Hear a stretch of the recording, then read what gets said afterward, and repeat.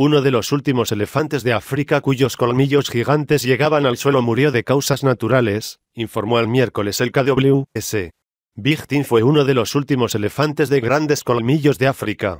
El célebre elefante murió el martes por la mañana a los 50 años, anunció KWS en un comunicado.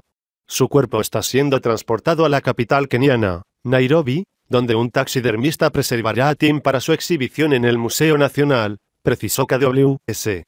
El elefante, que vagaba fuera de los parques nacionales en tierras de cultivo, había logrado sobrevivir a los cazadores furtivos y granjeros enojados en el pasado.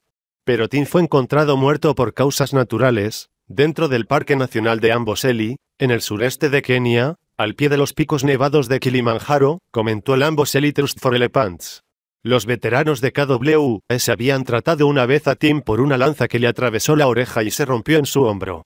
Los defensores del medio ambiente calculan que apenas unas pocas decenas de elefantes con colmillos que llegan al suelo viven aún en África.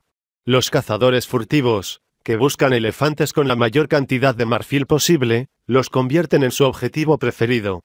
Con estos grandes paquidermos asesinados, el patrimonio genético se reduce.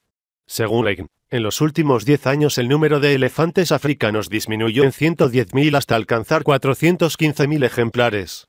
Cada año, unos 30.000 elefantes africanos son víctimas de la caza furtiva.